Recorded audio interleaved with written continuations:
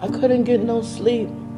And they told me to stay away from the comments, and I couldn't. As thousands sounded off on social media. But the ghetto was disturbing to me because nothing about me and my son is ghetto we take pride in being classy.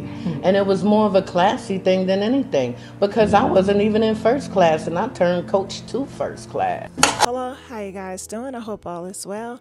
Make sure you guys like, share, and subscribe to this YouTube channel, Gossip Girl XOXO. So it was a picture that went viral. It was of the mother and her son. They were on the airplane, right? And they were eating some seafood. But guess what? They got some good praise and they got a lot of backlash. So now the mother and the son they are speaking out and they want to let you guys know they are not ghetto all right this is a very interesting interview so make sure you leave comments below check this video out the city now this story is sure to make your mouth water this picture here lighting up social media featuring two brooklynites enjoying some good old seafood while traveling to las vegas this is the way to travel thousands of feet up in the air they still got their seafood news 12's phil tate tonight met with this dynamic duo duo telling him this isn't anything new. There's more to this story. Check it out.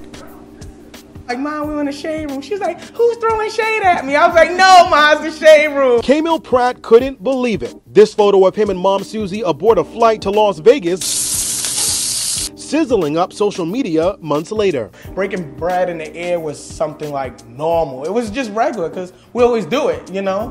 We actually do it bigger than that. The two traveling with family, having a full on seafood boil thousands of feet in the air, catching the eyes of passengers, even the flight attendant who they say snapped the photo. Oh, they was just like smiling and you know it was just a lot of positivity. Like people was running up taking our photos. Like we felt like stars. But for susie she says while the photos stunned social media she has been doing this since the age of eight. Never flew without my seafood Every time I fly, I bring seafood. I never had a seafood less flight. Even taking her favorite finger licking food, I will bring seafood into water parks for my daughter's birthday. For the past two days, many wondering how the crab legs made it past security. TSA lets anybody in with food.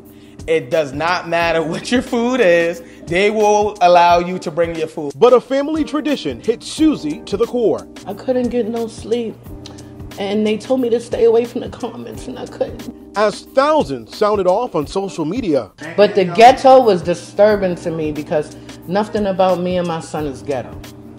We take pride in being classy. And it was more of a classy thing than anything because I wasn't even in first class and I turned coach to first class. And they say they'll continue to cook first class meals for others with their local business clause. Of making seafood. Um, the flavor, the fun making it. It's very simple, quick. This dynamic duo still has the seafood sizzling, but they tell me that their next big goal is to cook for Wendy Williams. Now we're here in Bed-Stuy. Phil Tate, News 12. In the city now, this story is sure to make your mouth water. All right, so let us know how you guys feel about that. Make sure you guys leave a comment, and I'll see you guys in the next video. Make sure you guys like, share, and subscribe to this YouTube channel, Gossip Girl XOXO. Bye.